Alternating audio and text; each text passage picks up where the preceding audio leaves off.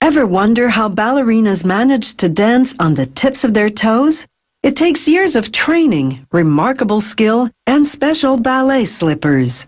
These toe shoes are handmade in what's truly a manufacturing pas de deux, a graceful pairing of traditional methods and modern materials. They sew the toe shoe's exterior from three pieces of satin.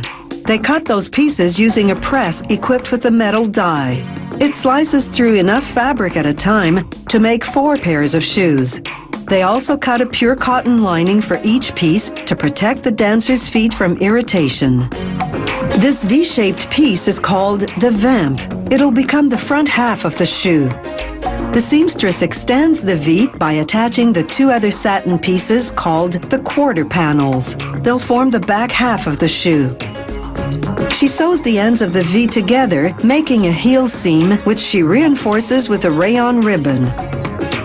Then she feeds the same type of ribbon through a special machine that folds it in half over a drawstring. She stitches it to the top perimeter of the shoe.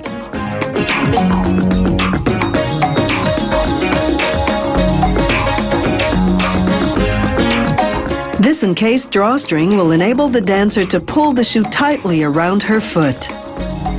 Now they put the satin upper onto a wooden form to check the sizing. It's absolutely critical that the height of the vamp be correct to within 3 millimeters.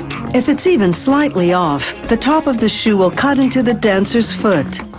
The shoemaker nails the cotton lining to an insole on the bottom of the form.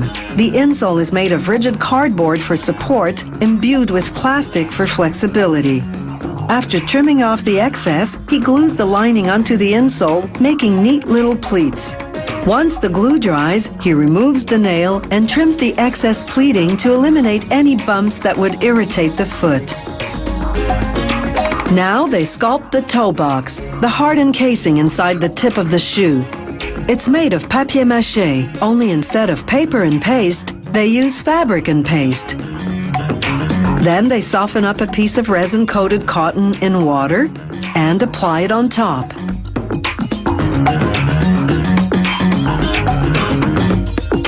Next, they saturate two pieces of burlap with paste and apply them one after the other over the cotton. The paste is made of flour, water, starches, and a rubber and plastic-based resin that hardens to a semi-flexible state. That's key because the toe box has to be stiff enough to bear the dancer's full weight, yet flexible enough so that the ballerina can move fluidly.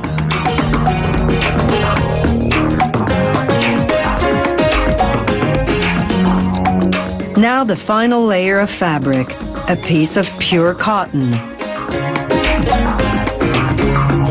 They wrap the toe box in plastic wrap to keep the hammer clean as they square off the front, creating what's known as the platform.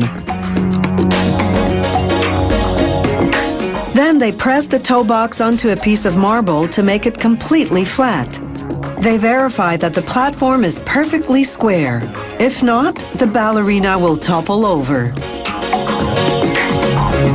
After letting the toe box dry for 24 hours, they glue the lining over it with contact cement. They trim off the excess, then glue the satin over the lining, forming delicate pleats. They use lighter glue this time because contact cement would stain the fabric. They apply a foam filler to even out the shoe's underside, then coat it with high-strength vinyl glue. They apply the same glue to a sole, then leave both to air dry. 24 hours later, they put them on a heater set to 93 degrees Celsius. This reactivates the dried glue in about half a minute.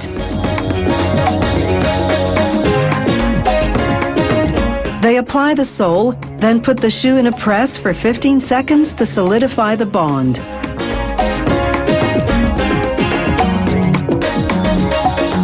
Now they can remove the shoe from the form. The sole is made of suede, a material that has just the right amount of grip. It's non-slip, yet still enables the dancer to glide smoothly across the floor. The last step is to glue in a white suede sock liner. It cushions the ballerina's foot and keeps it from slipping forward when she's dancing on her toes.